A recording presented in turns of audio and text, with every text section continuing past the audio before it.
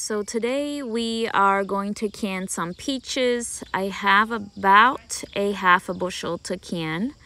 And I don't can peaches every year simply for the fact that they are so expensive. Peaches do not grow here in Iowa. And I know there is a couple varieties that say they're hardy for our zone. And we have tried them, but they never um, We've not been able to keep them growing for more than four or five years and then we get a very hard winter and they will die. So all of the peaches that we process are shipped in peaches and because they are shipped in they are often expensive. This year a friend was able to find some peaches for I paid about $27 for half a bushel. So this makes it worthwhile for me to can some peaches as a treat. Not something that we have on hand every year or even all winter long. Just as an occasional treat for school lunches.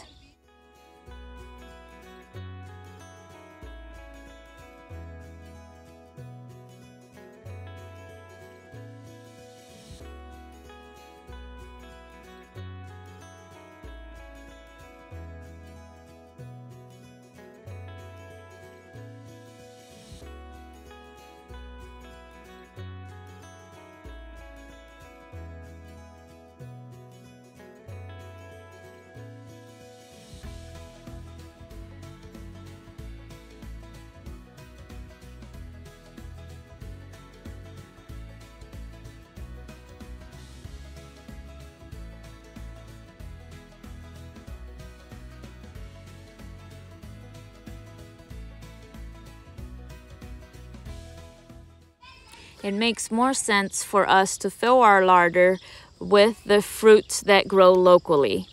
And for us, that is pears, apples, um, strawberries, raspberries, and things along that line. Because those we can grow ourselves and we don't have to pay the extra money to have them shipped in. So after we've washed the peaches, we cut them in half. We take the pit out and then we peel them. And yes, I know that you don't actually have to peel them, but my family prefers the peaches to be peeled before they're canned.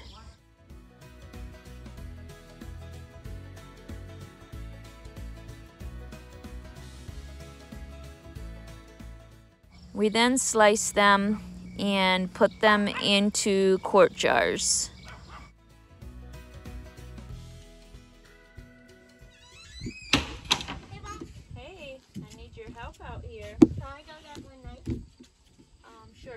Bowl and a knife.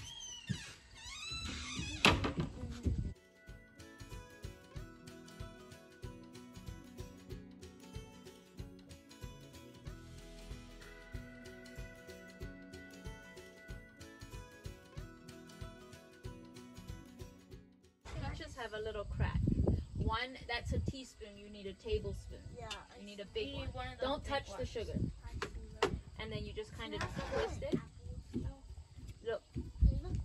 Then you just kind of twist it and then it comes apart. Uh, and then you then you kind of just take a real see? Oh. So that you don't waste any of the peach. Oh. Okay, now wait, wait, I'm not done yet. And then you lay it flat on your hand and then you make slices. Oh. And then, and then you put the slices in the jar. Okay, go wash your hands with soap first because you'll be touching the peaches.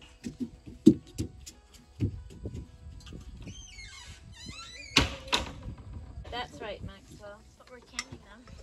Mm -hmm. So I just fill it up? No. One tablespoon in each jar that's full. Don't don't make it heaping like that. Just knock it against the side until it gets flat. I want to see. I did it! I can't see your, your uh, sugar. I want to see that spotlight. Yeah, a little more than that.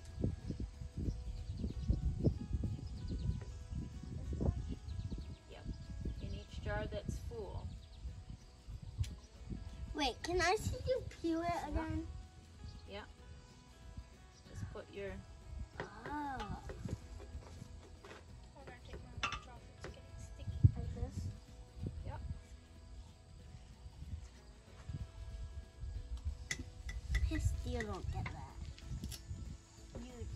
So we add a tablespoon of sugar to each jar after we have it filled with peaches. And we are mostly just doing this to preserve the color. Now you can add things like citric acid or orange juice um, to preserve the color, but we like a tablespoon of sugar best.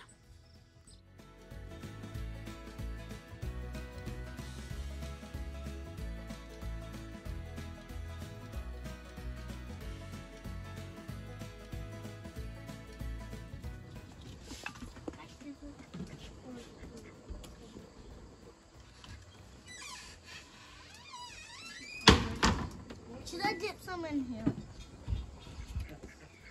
Um, first we have to put sugar in. Oh. Maxwell, go fill that pitcher up with warm water. No, too full, too full.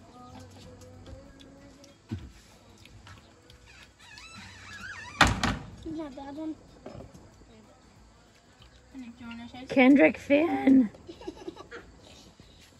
And the duck laughed. So after we filled the jar with peaches and added our tablespoon of sugar, we fill the jar with warm water. We use warm water to dissolve the sugar and we bring the water level all the way up to one inch of headspace in each jar. And then we put on the lids and rings.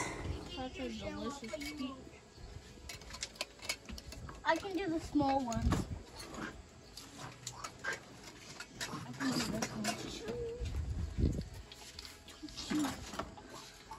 Here's a big one. Here's a big mouth. We gotta put peaches in there first, Harrison. Oh yeah. I mean, mm-hmm. Kendrick.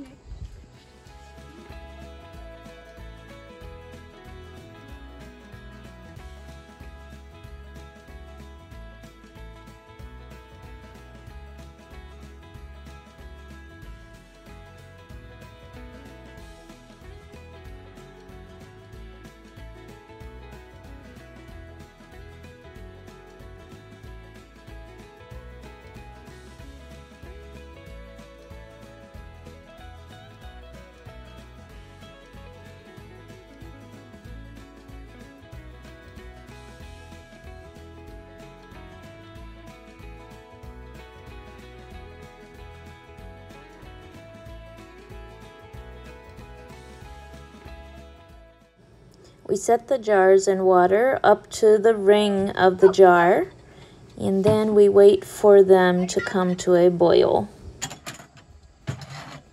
Keep putting water. Okay, let's see if it's boiling. Not quite. Okay, put the lid back on. Once they're boiling, we're gonna set the timer for five minutes. The reason that we're only going to boil them for five minutes is that the peaches don't actually need to be cooked. You just need to heat them long enough to get that rubber ring around the lid to seal properly.